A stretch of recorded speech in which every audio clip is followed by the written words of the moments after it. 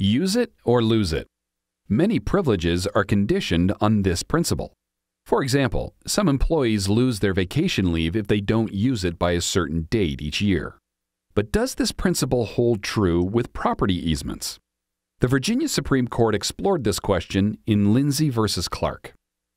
Floyd Clark owned four adjoining lots with his wife Helen. In 1937, Clark conveyed the front portion of two lots to their daughter and her husband, Mabel and C.W. Six. Clark reserved a right of way in the deed that was 10 feet wide and ran the length of the Six property on its south border.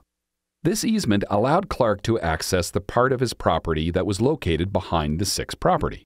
However, Clark created and used a driveway on the north border of the Six property. In addition, the Sixes built a house on their property that overlapped the deeded south easement by two feet. Despite the language in the deed, neither Clark nor the Sixes ever realized that the easement was supposed to be on the south border rather than the north.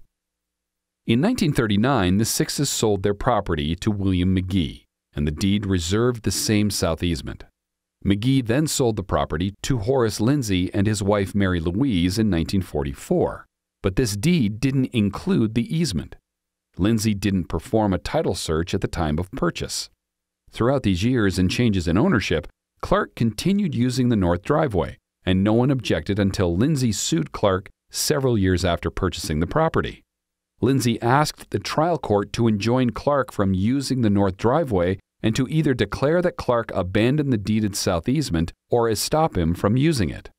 The trial court concluded that Clark didn't abandon the south easement, but the court didn't require Lindsey to move the encroaching house if Lindsey allowed Clark to continue using the north driveway. Lindsey appealed to the Virginia Supreme Court.